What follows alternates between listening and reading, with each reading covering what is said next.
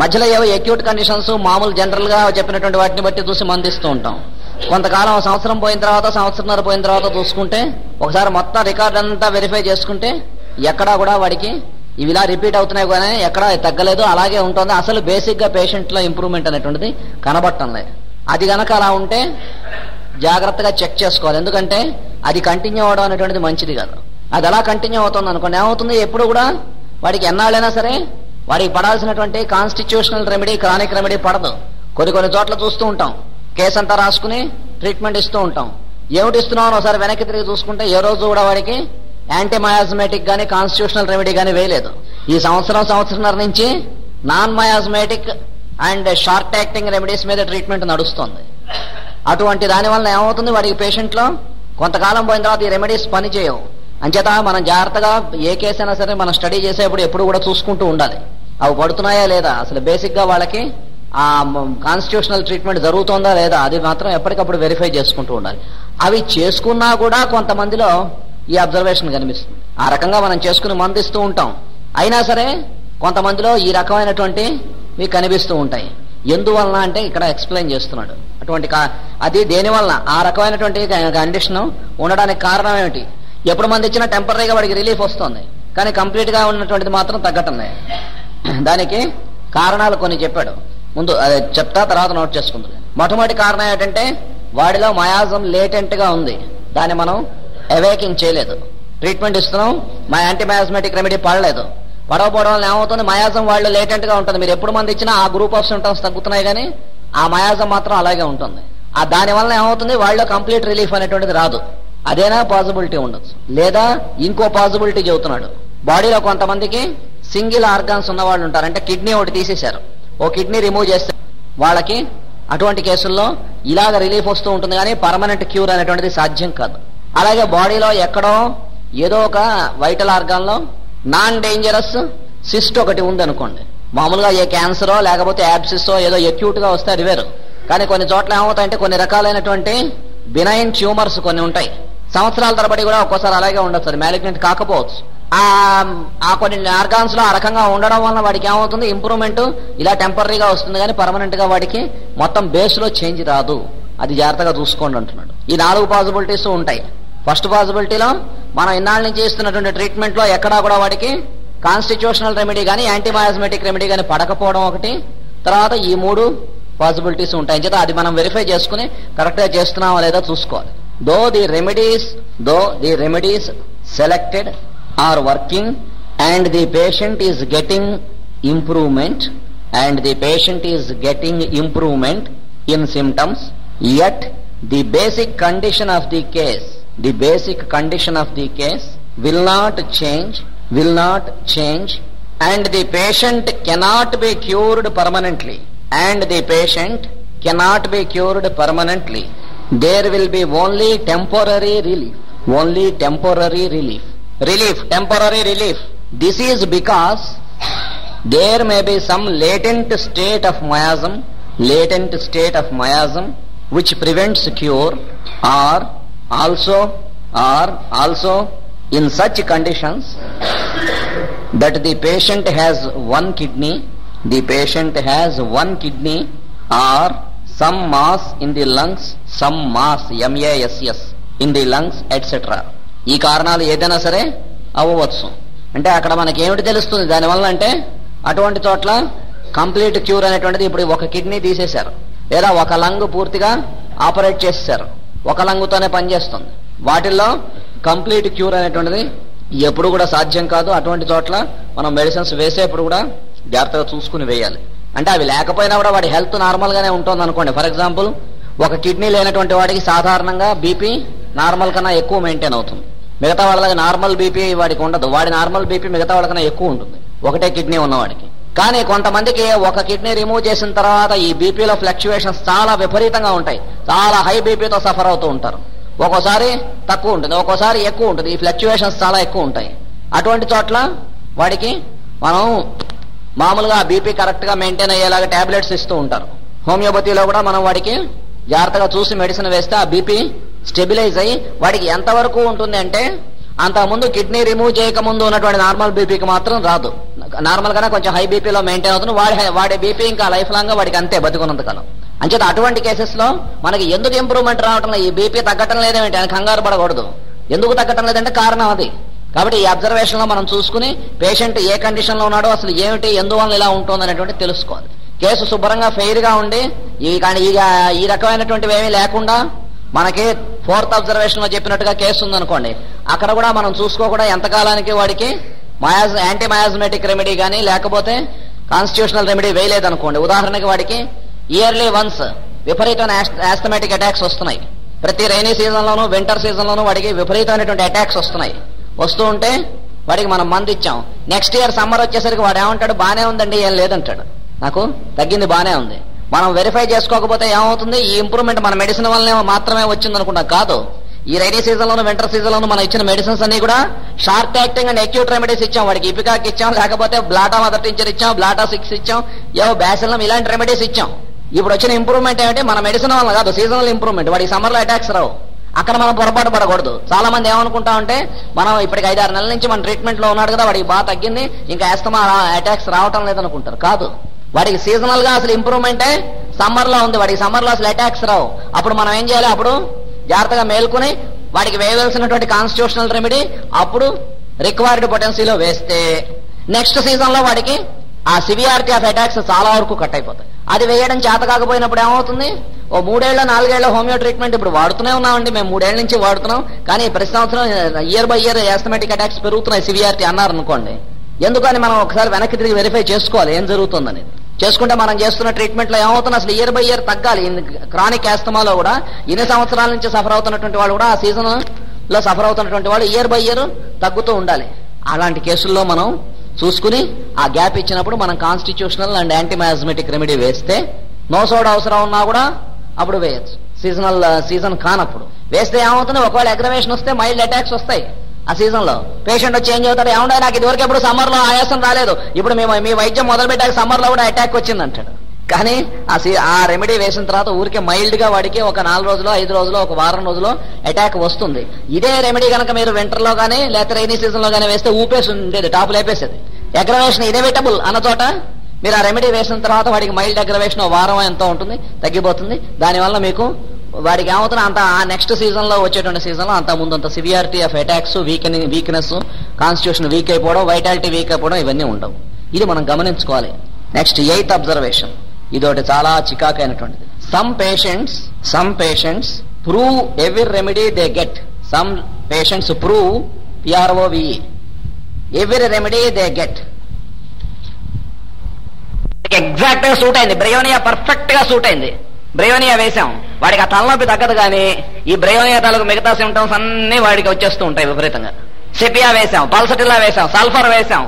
ఏ remedy వేసినా సరే మీ ఇష్టం. ఎగ్జాక్ట్లీ ఇండికేటెడ్ రెమెడీయే మీరు కరెక్ట్ గానే సెలెక్ట్ చేశారు మెంటల్ సిమ్టమ్స్ని బట్టే వేశారు జనరల్ సిమ్టమ్స్ అన్ని టాలీ అయ్యాయి మొడాలిటీస్ టాలీ అయ్యాయి కరెక్ట్ గానే వేశారు. కానీ ఏమవుతుంది? ఇవి తగ్గాల్సింది మీరు ఏమిటి ఎక్స్పెక్ట్ చేస్తున్నారో ఆ మిగతా పేషెంట్స్ను ఈ రెమెడీ వేస్తే డెఫినెట్ ఇంప్రూవ్మెంట్ వస్తుంది వీడికి రాదు. ఏ ఏ సిమ్టమ్స్ మీద అయితే మీరు రెమెడీ వేశారో ఆ సిమ్టమ్సే కాకుండా మిగతా డ్రగ్ తాలూకు సిమ్టమ్స్ అన్ని ఏమున్నాయో అవన్నీ వాళ్ళు వస్తాయి.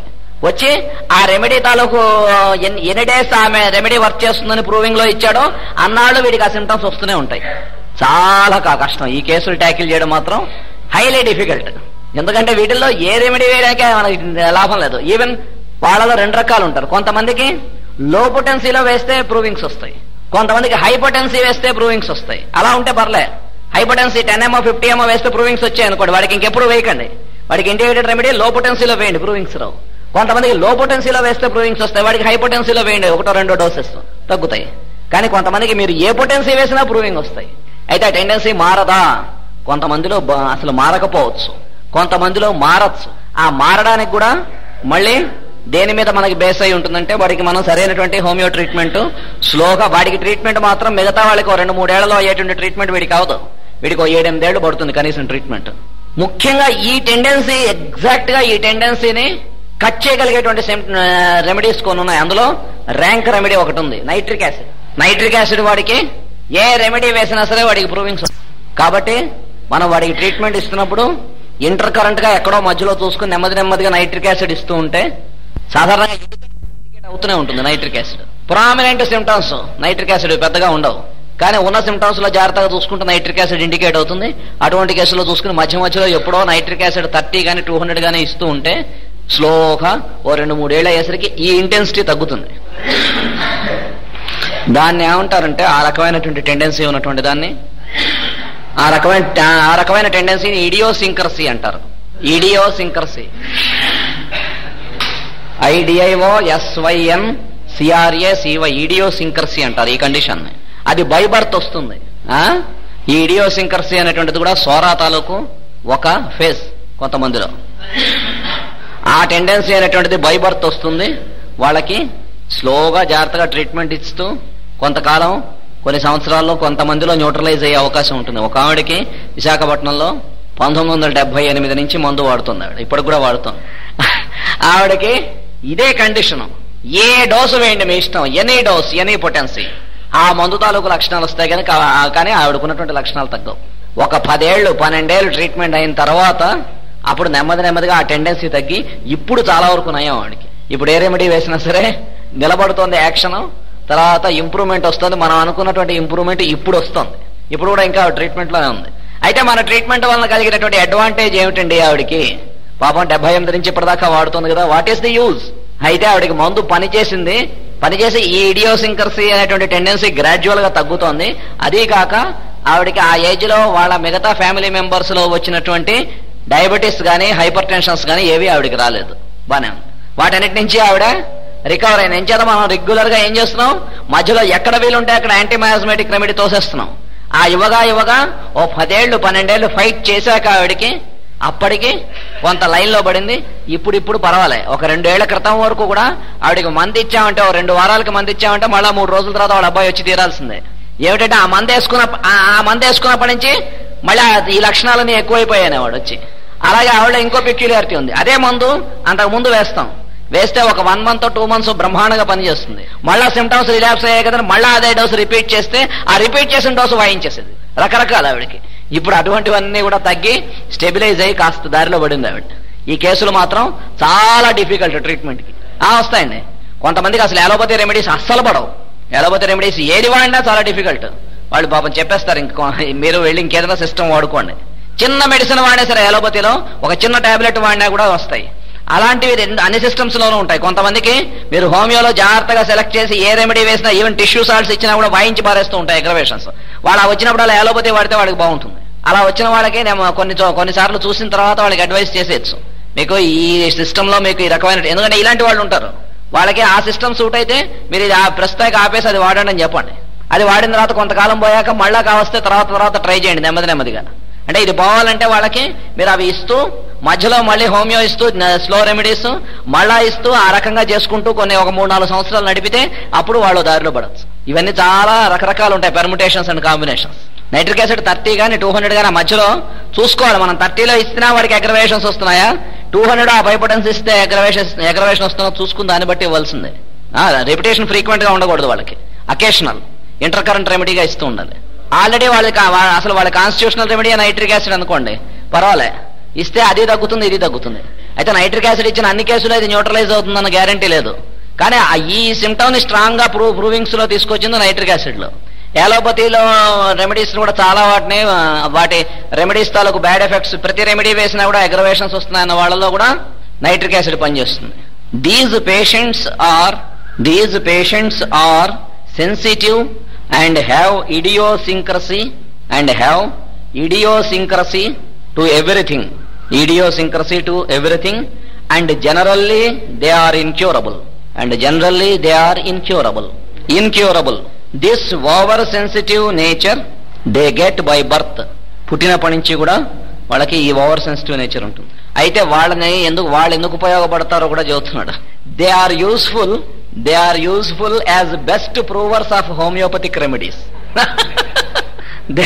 they are useful as best provers of homeopathic remedies మనం ప్రూవ్ చేయాల్సిన రెమెడీ వాళ్ళకి వేసేస్తే వండర్ఫుల్ ప్రూవింగ్స్ వచ్చి అది ఎన్నాళ్ళు పని వర్క్ చేస్తుందో అన్నాళ్ళు ప్రూవింగ్స్ ఇచ్చేసి వదిలేస్తుంది. మళ్ళీ వాళ్ళ ఒరిజినల్ స్టేట్ వాళ్ళకి మిగులుతుంది. అయితే వాళ్ళలో ప్రూవింగ్ తీసుకురావాలంటే ఏం చేయాలంటే ప్రూవింగ్ చేసే ముందు వాళ్ళకున్న ఒరిజినల్ స్టేట్ ఏమిటో అంతా మనం నోట్ చేసుకోవాలి. నోట్ చేసి పెట్టుకుని ఈ ప్రూవింగ్స్లో ఆ ఒరిజినల్ స్టేట్ ఏమన్నా ఆల్టర్ అయిందా అవలేదా అనాల్టర్డ్గా ఉందనుకోండి ఏమీ చేంజ్ లేదు. ఆ ఒరిజినల్ స్టేట్ వీడు ప్రూవింగ్ అవుతున్నప్పుడు కూడా అది అలాగే ఉందనుకోండి. అవి మన అసలు ఈ డ్రగ్ తాలూకు ప్రూవింగ్స్లోకి తీసుకోక్కర్లే. లేదా ఈ ప్రూవింగ్ అవుతున్నంత కాలం ఆ సిమ్టమ్స్ తగ్గాయి అనుకోండి అప్పుడు మనం ఈ ప్రూవింగ్స్లోకి ఆ సిమ్టమ్స్ కూడా తీసుకోవాలి. వాడికి ఉన్న ఒరిజినల్ సిమ్టమ్స్ లేదా ఈ ప్రూవింగ్ అవుతున్నంత కాలం అవి వాయించేసాయి అనుకోండి చాలా అడ్వర్స్ ఎఫెక్ట్స్ వచ్చాయి. అంటే వాటిని వాటిని దీంట్లోంచి మనం డిలీట్ చేసుకోవాలి. ఈ రకంగా ప్రూవింగ్స్కి మాత్రం వీడు బ్రహ్మాండంగా పనికొస్తారు. ఏ డ్రగ్ అయినా సరే. నార్మల్గా ప్రూవ్ ప్రూవింగ్ అయిన తర్వాత కొన్ని కొన్ని కొంత కొంతమంది కొన్ని రెమెడీస్ ప్రూవింగ్ అయ్యాక మళ్ళీ వాళ్ళ తర్వాత రెమెడీస్ ప్రూవింగ్ పనికిరారు. వీళ్ళు అలా కాదు. చాలా సార్లు వీళ్ళ వీళ్ళు ప్రూవింగ్స్కి పనికొచ్చేటువంటి వాళ్ళు. ప్రపంచానికి ఆ రకంగా ఉపయోగిస్తారు వాళ్ళు. Though they suffer. వాళ్ళు బాధపడుతున్నా కూడా. ఇగో ఇప్పుడు చెప్పినలాగే పూర్తి ఆరోగ్యవంతులు దొరక్కపోతే చేసే పని ఇదే. ఇప్పుడు రోజుల్లో డ్రగ్స్ ప్రూవ్ చేయాలనుకోండి వాళ్ళకి ఏం చేయాలంటే మొట్టమొదటి వాళ్ళ కేస్ టేకింగ్ తీసుకోవాలి. వాళ్ళ మైండ్ ఎలా ఉంటుంది? వాళ్ళ టెంపర్మెంట్ ఎలా ఉంటుంది? వాళ్ళకి ఏమైనా ఫిజికల్గా ఏమైనా ఇల్ హెల్త్ ఉందా? మెంటల్గా ఏమైనా ఇల్ హెల్త్ ఉందా? మొత్తం అంతా వాళ్ళ కేసులు రాసి పక్కన పెట్టుకోవాలి. పెట్టుకుని రెమెడీ వేసి ప్రూవింగ్ చేసినప్పుడు దానికేనో వాళ్ళకు ఉన్నటువంటి సిమ్టమ్స్కి ఏమైనా తేడా వస్తుందా? దానికి నీకేమైనా రిలేషన్ ఉందా? ఇవన్నీ చూసుకుని ఇవి దాంట్లో వాడి సిమ్టమ్స్ దీంట్లో యాడ్ చేయాలా? దీంట్లో తీసేయాలా అనేటువంటిది చూసుకోవాలి. హెల్తీ ప్రూవర్స్ అనేవాళ్ళు అస్తమానం దొరుకుతారు అనేటువంటి నమ్మకం ఈ రోజుల్లో అసలు దొరకరు. Some patients some patients will get proving will get proving when the remedy is used in higher potencies one M ten M అవి వాడితే వాళ్ళకి ప్రూవింగ్స్ వస్తాయి. కొంతమందికి అగ్రవేషన్స్ వస్తాయి. మా ఇంటి దగ్గర మా ఇంటి పక్కన మామగారు ఉండేవారు మేష్ గారితో ఏమండో నాకు ఆ పెద్ద పొటెన్సీలు వేసేయకండి. నాకు చాలా అగ్రవేషన్స్ వస్తాయి. చిన్న చిన్న పొటెన్సీలు ఇవ్వండి అంటూ ఉండేది. ఆవిడకి టూ హండ్రెడ్ దాటి ఎప్పుడు వేసినా మనం చెప్పబోయినా సరే ఆవిడ తెలిసిపోయేది. పై పొటెన్సీ వేశారు. నాలా అగ్రవేట్ చేసేది ఆవిడకి. అయితే ఆవిడకి ఎప్పుడు? Thirty six thirty two hundred ఇస్తే బాగుండేది ఆవిడ కంఫర్టబుల్గా నేను చెబుతూ ఉండేది ఆచార్యుల గారు నాకు పెద్దవి ఇవ్వకండి అంటూ ఉండేది. ఫర్ దెమ్ ఫర్ దెమ్లో or moderate పొటెన్సీస్లో potencies are moderate potencies like thirty or two hundred are useful. నెమ్మదిగా వాళ్ళకి ఆ పొటెన్సీస్లో వేసి వాళ్ళకి ఏదైనా ఎక్యూట్ ప్రాబ్లమ్స్ వచ్చాయి. అలాంటి వాళ్ళలో కాన్స్టిట్యూషనల్ ట్రీట్మెంట్ ఇవ్వడానికి మీరు ట్రై చేశారు. ట్రై చేస్తే ఇవో ఇగో ఈ ప్రాబ్లమ్స్ వస్తున్నాయి. వాళ్ళకి ఇంకా కొంతకాలం పాటు కాన్స్టిట్యూషనల్ ట్రీట్మెంట్ ఇవ్వడం ఆపేయండి. మయాజ్మెటిక్ యాంటీ మయాజ్మెటిక్ రెమెడీస్ వేయడం ఆపేయండి. వాళ్ళకి ఎప్పుడైనా ఏదైనా ఎక్యూట్ ప్రాబ్లం వచ్చింది అనుకోండి జలుబు దగ్గు వచ్చాయి లేదా జ్వరం వచ్చింది బ్రియోనియా ఇండికేట్ అయింది వాడి బ్రియోనియా థర్టీ డోస్ వేయండి వేస్తే తగ్గుతుంది. ఎంచేత వాడికి బ్రియోనియా వన్ ఎం వేస్తే ప్రూవింగ్స్ వస్తాయి. థర్టీ వేయండి వేస్తే నెమ్మదిగా కొంచెం రిలీఫ్ వస్తుంది. లేదా బ్రియోనియా టూ హండ్రెడ్ అయింది అలా ఇండికేట్ అయిన రెమెడీస్ ఆ రకంగా వేస్తూ ఉంటే ఆ ఎక్యూట్ ప్రాబ్లమ్స్లో మాత్రం వాళ్ళకి రిలీఫ్ వస్తూ ఉంటుంది. ఆ రకంగా నడిపించవలసింది వాళ్ళ case ninth observation the action of the medicines the action of the medicines upon provers upon provers medicines provings చేసేటువంటి వాళ్ళ మీద మెడిసిన్ యాక్షన్ ఎలా ఉంటుందో అబ్జర్వేషన్ చెప్తున్నాడు. ఇప్పుడు ఇప్పుడు మనం చెప్పుకున్నదే ఇక్కడ చెబుతున్నాడు. To select healthy provers note the condition note the constitution and condition of the patient of the person constitution and condition of the person వాడి కాన్స్టిట్యూషన్ ఏమిటి? మెంటల్ కండిషన్ ఏమిటి? టెంపరమెంట్ ఏమిటి? హెల్దీగా ఉన్న వాళ్ళు కూడా వాళ్ళ టెంపర్మెంట్ వాళ్ళ టెంపర్మెంట్ దేంట్లోకి వస్తారో ఉంటుంది కదా. మెంటల్ సింటమ్స్ అంటే అన్హెల్దీగా ఉన్న వాళ్ళకే కాదు. మెంటల్ సింటమ్స్ అంటే అర్థం ఏంటి? మనం హోమియో నేర్చుకున్న కొత్తలో మెంటల్ సింటమ్స్ అంటే ప్రతివాడు పేషెంట్ అనుకుంటాం. అది కాదు. మెంటల్ సింటమ్స్ అంటే అర్థం ఏంటంటే వాడి టెంపర్మెంట్ ఏమిటి? వాడి లాజిక్ ఏమిటి? వాడు ఏ రకమైన అండర్స్టాండింగ్లోకి వస్తాడు? ఏ గ్రూప్ ఆఫ్ పర్సన్స్లోకి వస్తాడు? అది మెంటల్ సింటమ్స్ అంటే. పర్వర్టెడ్గా ఉంటే అది డిసీజ్ అంటాం. పర్వర్టెడ్గా కాకపోతే ఈ మెంటల్ ఈ మెంటాలిటీ ఉన్న వాళ్ళకి ఏ మెడిసిన్స్ ఇండికేట్ అవుతాయి? ఈ మెంటాలిటీ ఉన్న వాళ్ళకి ఏ మెడిసిన్స్ ఇండికేట్ అవుతాయి? వాళ్ళకి ఏమైనా డిసీజ్ వస్తాయి వాళ్ళకి డిసీజ్ లేకుండా ఉన్నటువంటి వాళ్ళు ఉంటారు. ఏ రకమైన పర్వర్షన్స్ లేని వాళ్ళు. ప్రతివాడికే వాడే దీన్ని బట్టి బై బర్త్ వాడికి వాడి టెంపర్మెంట్ వాడి మెంటాలిటీ మిగతా వాటిని బట్టి వస్తుంది కదా. ఆ వచ్చినటువంటి మెంటల్ కండిషను టెంపర్మెంట్ అనేటువంటివి ఏవైతే ఉన్నాయో వాడికి బై బర్త్ వాడి మొడాలిటీస్ ఉంటాయి. ఆ మొడాలిటీస్ మనం మెడిసిన్ వేసినంత మాత్రాన చేంజ్ అవ్వవు. ఇప్పుడు ఒక్కోడికి చిన్నప్పటి నుంచి కూడా అసలు చన్నీళ్ళు పడవు అనుకోండి మనం మెడిసిన్ ఇచ్చేప్పుడు అది ఎందుకు పనికి వస్తుంది అది ఎందుకు రాసుకుంటున్నాం అంటే ఈ చన్నీళ్ళు పడినటువంటి రెమెడీస్ గ్రూప్లోకి వీడు వచ్చేందుకోసం రాసుకుంటున్నాం. కాబట్టి వాడికి ఇది ఉన్నటువంటి కంప్లైంట్స్ అన్ని కూడా ఈ గ్రూప్లో ఉన్నటువంటి రెమెడీస్లో ఏదో వాడికి ఇస్తే అవి ఉన్న కంప్లైంట్స్ తగ్గుతాయి. కానీ వాడి కాన్స్టిట్యూషన్ ప్రకారం బైబర్త్ వాడికి చన్నీళ్ళు అంటే పడదు అనుకోండి. మనం మెడిసిన్ వేసాక చన్నీళ్ళు అంటే కొంచెం బెటర్గా ఉంటాడు. కానీ అసలు బేసిక్గా వాడికి చల్లదనం ఆ రకంగా ఉండడం అనేటువంటిది ఉంటుంది. అలాగే మెంటల్గా ఒక్కోడు బై